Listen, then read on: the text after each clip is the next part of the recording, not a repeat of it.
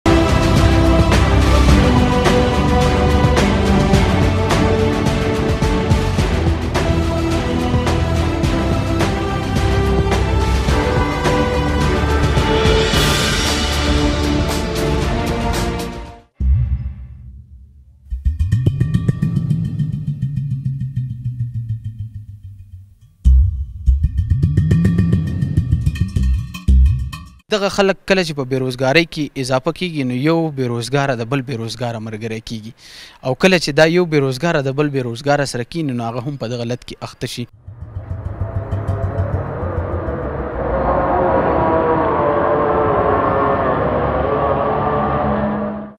چرس او سګرټ مو په جیبونو شمړولې. کنه او خلک ډګ ډګ ګاډي راړي نه په کم طرف راځي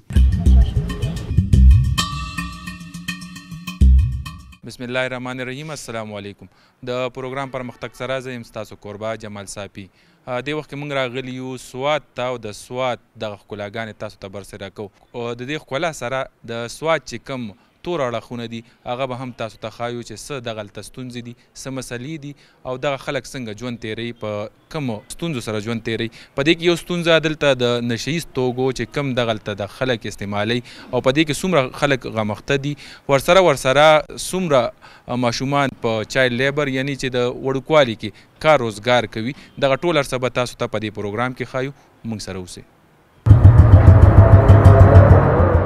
پاکستان په هغه هېوادونو کې شمارېږي چې د نشو په وبا کې راګیر دی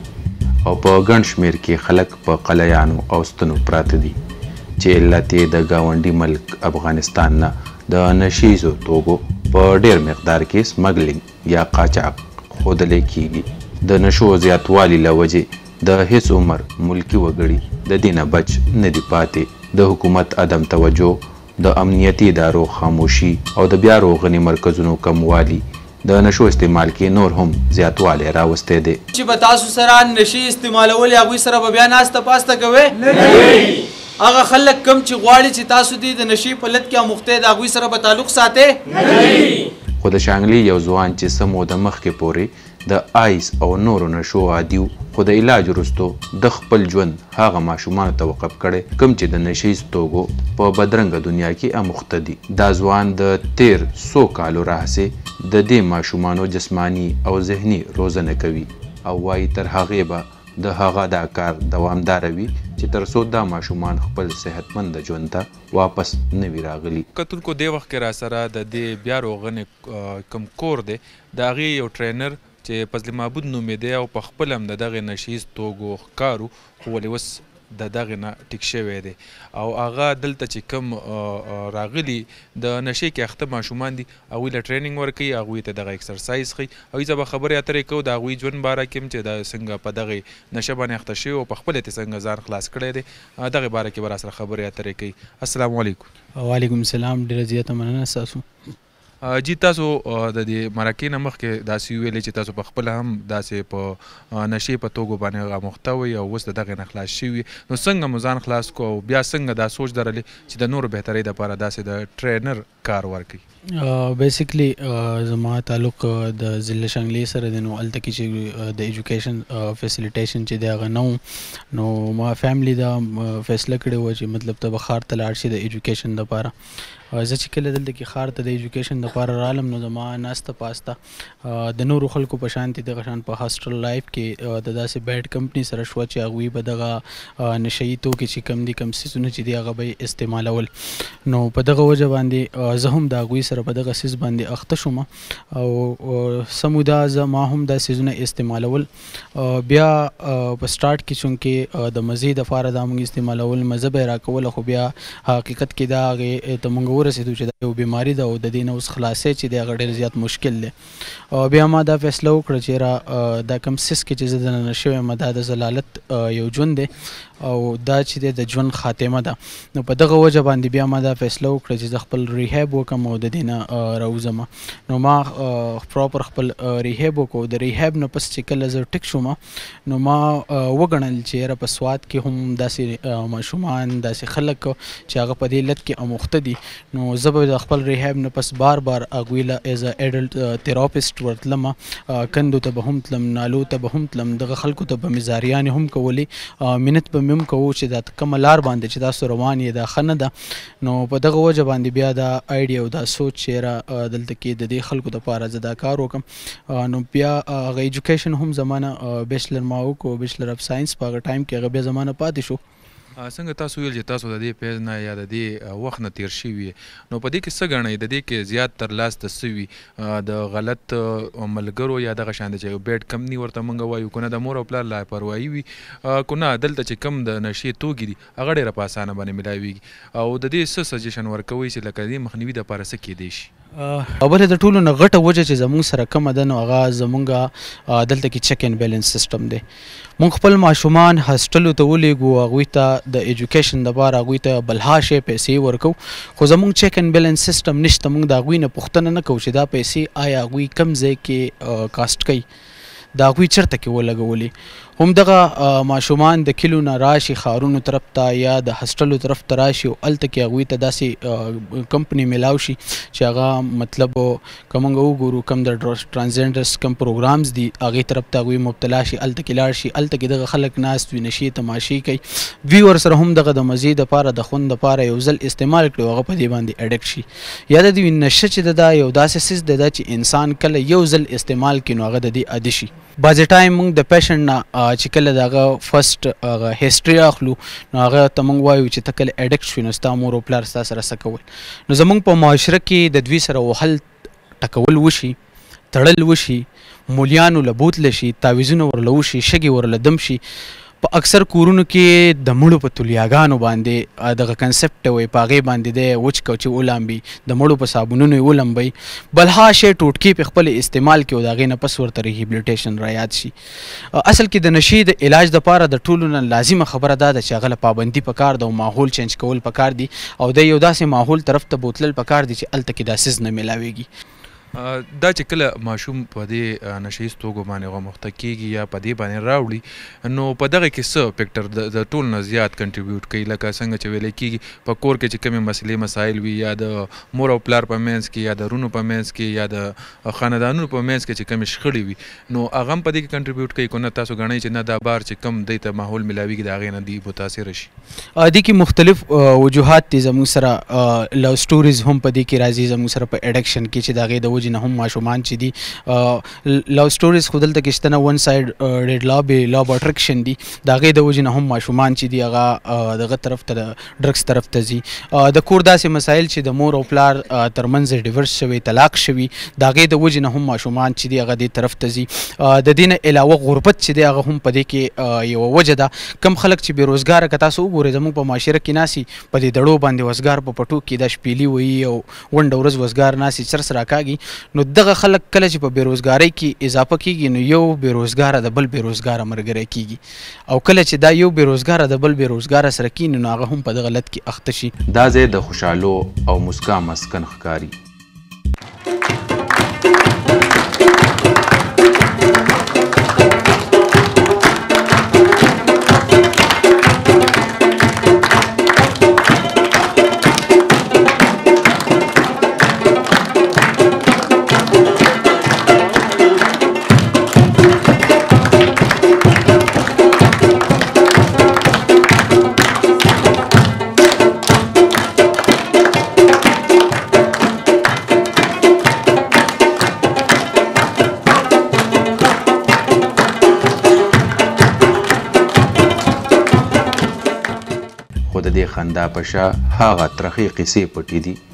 لکه د کور نه د بې دخلۍ، په نشو غموخته کېدل، جنسي تېری او په ماشوموالي کې د روزګارونو تکل. دا واړه ماشومان د خېبر پښتونخوا د ښکلې سيمې سوات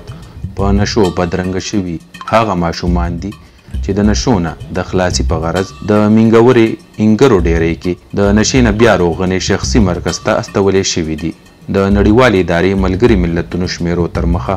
یوازې سوات کې اوه زره خلک چې په کې اتلس سوه ماشومان هم دي د هیروین یا پوډرو، اپیوم او آیس په نشو اخته دي. زما نوم شهاب دی، زه اورتکي سره تعلق ساتم، ما به نو چرس نشه به مې کوله، ملګرو به راسره هم کوله، د وس چې پیسې به نه وې غلاګانې به مو له کولې.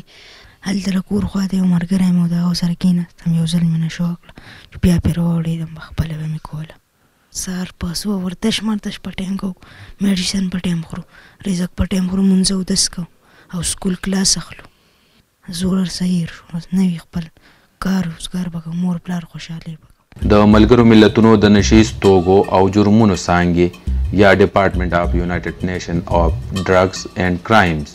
د شمېر شمېرو تر مخه په پاکستان کې په مجموعي توګه شپېته لکه خلک په نشو اخته دي. ولې په دې کې څلوېښت لکه هغه تنان دي چې په دې نشو عدد شوي هم دي. د یو اندازې تر مخه پاکستان ته هر کال یو سل پنځوس ټنه نشه ییز توګې سمګل کېږي چې په کې څلور څلوېښت ټنه په مقامي کچه استعمالېږي. ګرانو کتونکو تاسو په دې پروګرام کې دغه د ماشومانو د خصمانې ورسره ورسره چې کوم د هغوی علاج روان دی هغې باره کې تاسو وکتل د هغوی چې کوم ټرینران دي ورسره چې کوم د میوزیک کلاسونه ورسره الی د هغوی خبرې مو واوریدلې څنګه دغه ماشومان په دې توګو را واوړیدل خو اوس راسره هغه شخصیت چې کوم د دې شخصي ادارې یا د بیا روغنې کور مشر دی هغه راسره موجود دی د هغوی نه به لاول د هغې تعرب الو او بیا به مخکې خبرې به ترې کوو. زما نوم فضل حمید دی او زما تعلق د مینګورې سوات بلکې له دې ځي سره کوم ځای کې زما دا اداره موجوده ده. د دې سره سره زه د انټرنشنل لیبر ارګنایزیشن چې کوم دی د هغې د ملاکنډ ډویژن د چایلډ پروټیکشن ریپریزنټیټیو یم او دې سره سره چونکې د اداره کې خپل هغه هلې ځلې خپل خدمات هم ورکوو. په دې وخت کې تاسو سره په دې اداره کې څومره ماشومان دي چې هغه تاسو سره د هغه د بیا روغنې نه تیریږي، د هغوی علاج روان دی، په څومره تعداد کې دي او دغه شانته چې کوم ایډلټ یا چې کوم مشران دي هغه څومره دي؟ زموږ سره خو اصل کې په اداره کې په موجوده وخت کې ایک سو تیس پیشنټ موجود دي، په دې کې ایک سو تقریباً څه پچیس پورې انډر ایج ماشومان دي، د ماشومان د پاره موږ جدا سیپریټ روم او سیپریټ فلور منتخب کړی دی او زمونږ چې کوم بیا کوم مین پیشنټ دی هغه انډرګراوند زمونږ چې اداره ده کې پاتې کیږي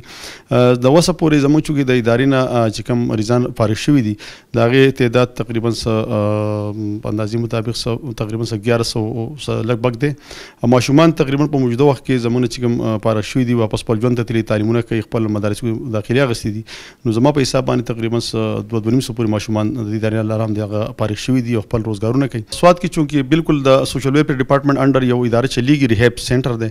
هغوی هم په خپل توګه باندې مطلب د ګورنمنت په سرپرسته کې علاج کوي خو دا غو سره چونکې کیپاسټي ډیره زیاته کمه محدود ده اصل کې زمونږ د آبادی چونکې تاسو تناسب ډیر زیات سیوا ده نو ګورمنټ هم په خپل لیمیټډ ریسورسز کې هغه علاج معالجه خو کوي خو چونکې په کم تعداد سره چې خلک په دې کې اډیکټ کیږي یا مخته کیږي په هغه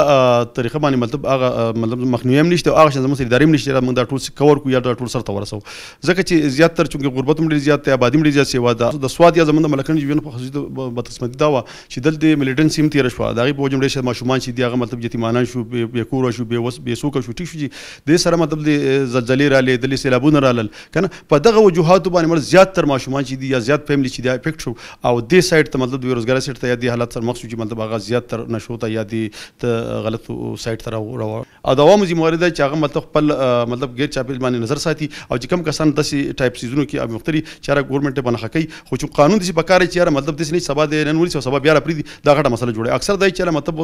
یو سړی سپلایر دی او تا باندې مطلب کمپلین وکړو پولیس ته یا چاته د وکړو هغه خبر چې دې سړي باندې کمپلینټ کړی نو که سبا راځه شو لول نقصان تا تر رسي د دغه وجه زیات تر خلک زموږ دی وجم غلي یار ځان ول دښمن جوړ کوم سبب قانون بیا را پری ځان له مسله جوړ کوم فضل صاحب اخرنه تاسو پم درنه دغه وی چې تاسو څنګه وې د په دې مرکه کې مخ کې چې تاسو په چایلډ لیبر باندې کار کوي دا شان دغه ادارې سره تاسو اټیج یې دغه د پرم کار کوي نو څومره خلک دي چې دلته په چایلډ لیبر کې لګیا دي په سواد کې دغه تعداد راته ویل شي او څه څه کارونه دي هغه چې کوم لا د حکومت د نظر نه پټ دي چې دغه چایلډ لیبر واپس سکولونو ته راولي. د دې جي وجوهات به لاول ګورو چې وجوهات څه دي کنه جي که موږ یو ځل وایي چې دا اصل کې بدقسمتۍ نه داسي چې بعضي کارونه حکومت شروع کړي خو چونکې مخکې هغو سروې نه کړي یا سرچ نه کړي او هغې نه ډېر غلط بیا میسج لاړ شي عامو خلکو ته کنه اوس فرض که یو کور کې والي صاحب بیمار دی نو ماشوم به کار نه کوي نو څه به کوي کنه یا یو خزر د خاون مړ نه خزي مطلب دا خزه بسکه خو بچي به خامخ برته بچي سره روزګار وکي کنه نو مطلب روزګار نه بغیر خو د علاقه غریب علاقه دا غربت دی دلته کې د روزګار مواقع خو په کار دي چې روزګار مواقع یي خو چونکه مطلب کوم دا و چې موږ چایلډ لیبر ختمو نو زموږ خلک بغلطه خبره موږ دا و چې موږ د چایلډ چایلډ پروټیکشن د پاره سدي کار کول غوړ چې کم ماشومان مو سکول ته یګول غلن بس زمون کور یو سیستم ګورنمنت شروع کړی دی ماشومان د پاره خپل چایلډ لپاره ډیر بهترین سیستم دی ټیک شو که داسې ټایپ ادارې مطلب ګورنمنت جوړ کړي او دغه ماشومان پسې ټریډ کړي او په کور ته مطلب دوه درې زره څلور زره روپۍ میاشت ځي نو زما خیال هر والدین دا غواړي زما بچي د تعلیمي تربیت حاصل کړي په ښه طریقه ژوند تیر کړي خو چونکې یو مور پلار دا نه غواړي چې ما بچی دې مطلب په پلردي هوټل کې په کپونه وینځي یا دې مطلب ګاډۍ ته ودري پروټي خرڅوي یا دې په اډو کې مطلب منګزي او په دواغونه خرڅوي د یو مور پلار هم دا نه غواړي هغه مطلب دغه سره بل څه وسایل نه دغه مطلب د ډوډۍ درک نه لګي نو څه به کوي خپل بچی نه وباسي یا به ښځه خپل وځي خپل بچی وباسي نو دغه ماخل دغه راځي چې که ګورنمنت په دغه طریقه باندې لغه لړ کې دغه وکي بل دا چې 1.5% چې دا تقریبا د 2012 سروې مطابق چې چایلډ لیبر سره په کې پکې کې مطلب کسان اموخته دا کم چې ماشومان دي کنه بیا مطلب د موږ زیات تر ماشومان چې دي دا په اګریکلچر کې زیات تر ماشومان بیا په تماکو کې خصوصا تر ماشومان په چایلډ لیبر کې زیات تر اکثریت زموږ زیات پاتې کېږي د دې زیات بیا په انډستریز کې یا په دې ډېر په کم تعداد باندې یا په هوټل کې خو که بل که دا چایلډ لیبر ته کوم ماشومان چې راځي دا هم د دغه د دغه دغه د دوه نسري ده د دغه ځین چې کوم ماشوم راوځي دا ماشوم اډیکشن تم زی دا ماشوم جیب کترم جوړ دی شي د دې ماشوم چې دغه ټیم د تعلیم تربیت ټیمي او که دغه ټیم د چایلډ لیبر تر وته نو د ژوند تباہ شي ځکه د فیوچر د خو پیسې پیدا کول مقصدي او پیسې په هر طریقه خلک استعمالول شي په هر طریقه کار غستې شي او کوشش کوي چې الله سبحانه وتعالى مسل وي وړي د سل په ځای 200 وړي او دغه خلک ولا بیا مختلف لچون ورکه په دغه سی بیا استعمالي ډیره مننه فضل صیب چې تاسو موږ ته وخت راکو او خپل نظر هم را سره شریک کو ګرانو کتونکو تاسو زموږ پروګرام پرمختګ وکتو په دې کې تاسو د سوات هغه تور اړخونه چې په کم کې د چایلډ لیبر ورسره ورسره دلته په نشو باندې غ مخته خلک سره ملاو شولې دا غوي سره خبرې اترې مو اوریدلې د دغه کارمندانو چې کم په دې کې په دې لړ کې کارونه کوي چې دغه نشي په توګه اخته خلک واپس ژوند ته راولي هغي سره تاسو ملا شوي یقینا د سوات په حواله داسي قسمه پروګرامونه به تاسو هم خوښوي او د دي مرسته به هم کوي د بل پروګرام سره به بیا ستاسو په خدمت کي حاضریږو اوس خپل کوربه جمال صاحب له ورکه اجازت د لوي الله په امان.